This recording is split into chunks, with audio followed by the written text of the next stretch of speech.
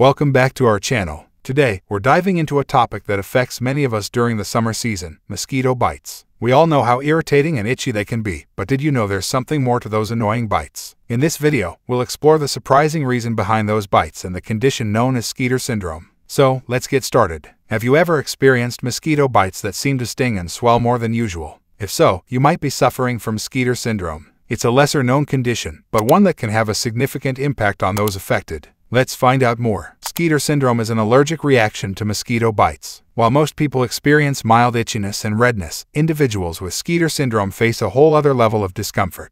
The reaction can cause severe itching, swelling, and even pain. So, why does this happen? When a mosquito bites, it injects its saliva into our skin. Our immune system recognizes this saliva as a foreign substance and mounts a defense, releasing histamines to fight off the intruder. However, in people with Skeeter syndrome, their immune system goes into overdrive, releasing an excessive amount of histamine. This exaggerated response leads to the intense itching, swelling, and discomfort that characterize Skeeter syndrome. The difference between a regular mosquito bite and a Skeeter syndrome bite is quite noticeable. While a normal bite might cause a small, red bump, a Skeeter syndrome bite can result in a larger, raised welt that is hot to the touch. This severe reaction can last for days, causing immense discomfort and interfering with daily activities. If you're experiencing unusually severe reactions to mosquito bites, it's important to consult with a healthcare professional. They can diagnose Skeeter syndrome and provide appropriate treatment options to alleviate symptoms and manage future mosquito encounters. In addition to seeking medical advice, there are some preventive measures you can take to minimize mosquito bites. Applying insect repellent, wearing protective clothing, and removing stagnant water sources around your home can significantly reduce your exposure to mosquitoes.